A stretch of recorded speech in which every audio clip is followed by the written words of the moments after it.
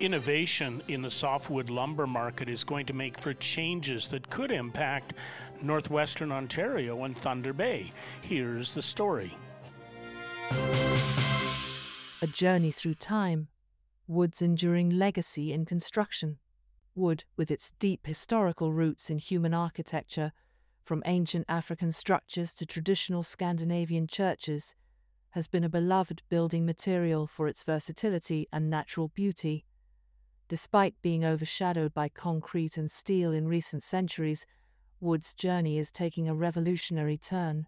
There is a natural beauty in wood, and in working with wood.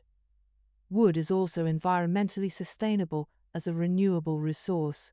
Beyond steel and concrete, the rise of mass timber. The construction landscape is witnessing a transformative shift with mass timber emerging as a viable alternative to steel and concrete championed by civil engineers like University of Utah's Chris Pantelides, mass timber is proving to be not just a nod to the past, but a beacon for the future.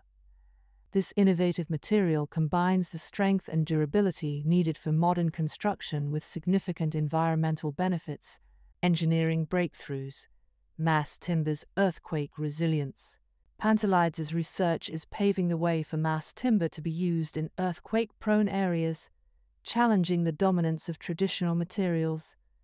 Through the development of advanced timber technology, such as the timber buckling restrained brace TBRB, mass timber buildings can now withstand seismic forces, offering a safer, more sustainable option for construction. Eco friendly construction.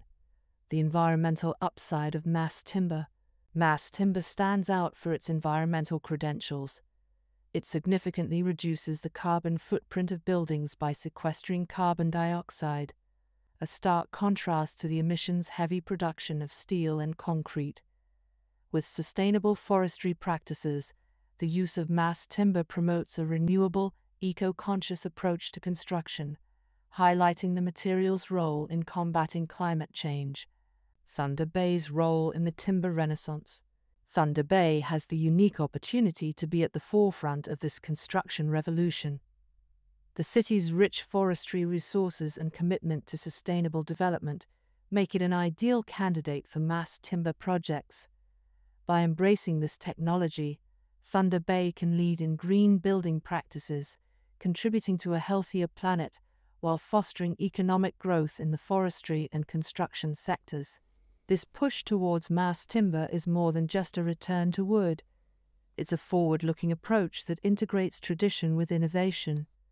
As the global community seeks sustainable solutions, Thunder Bay's embrace of mass timber positions it as a leader in the movement towards eco friendly construction.